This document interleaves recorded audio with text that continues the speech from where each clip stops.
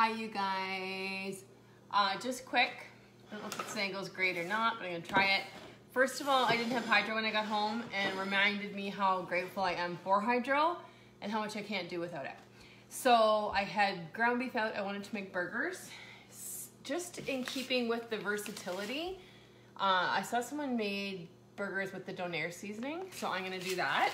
And again, don't think what it's meant for is all you can use it for. So I'm gonna dump, I'm gonna dump the whole package in and I've got an egg in there and about a pound of ground beef. Um, so I'm gonna mix that together. I've got some fillings I'm gonna show you guys how to use the burger press. This may be kind of messy for a minute here. Um, so the burger press this month comes in the burger collection where you get the good burgers, the mustard, uh, the quickles, I'm wondering if you get the skewers too. It's a really good deal. Really good deal. Okay.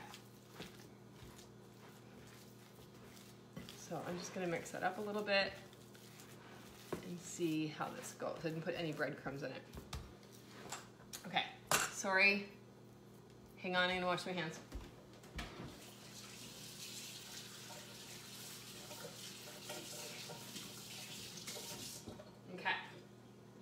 Wash my hands. Burger press, looks like this. So comes apart. This is the bottom piece and the disc comes right out. Uh, the slider is in the top piece. The slider looks like that. So I'll show you how to do that as well. And then there's a plunger in the middle of this, just twist it off to make an indent for stuffed, okay? So in here I've got the donair, the ground beef, and an egg. So I'm going to, don't overfill it. It's tempting to overfill it, but don't overfill it. Uh, the colder the meat, the better. I've done ground turkey and that kind of stuff, uh, but it's sticky. It's harder to work with for sure because it's sticky. So I've just lined the bottom of the press like that. And I'm gonna take the plunger piece and just push it down like that. It's sticky. So it's just made a little well.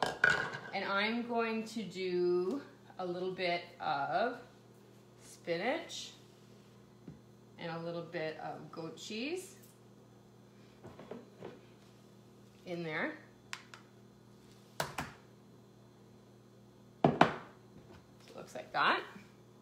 And then I'm going to put a little bit more of the meat on top to kind of seal it. That.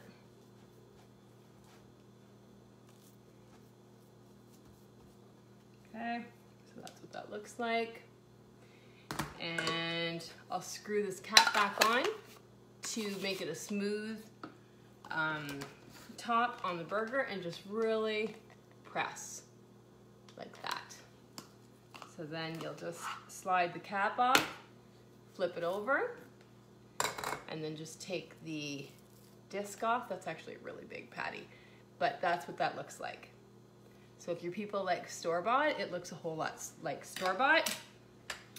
And then the slider is same idea, but smaller version. You can't do stuffed, just smaller and it'll give you that nice uniform size.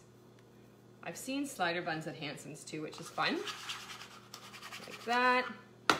And same idea, flip, and take the disc off. And then you have little baby, little baby sliders. So that's it for now. That's all I got. Bye.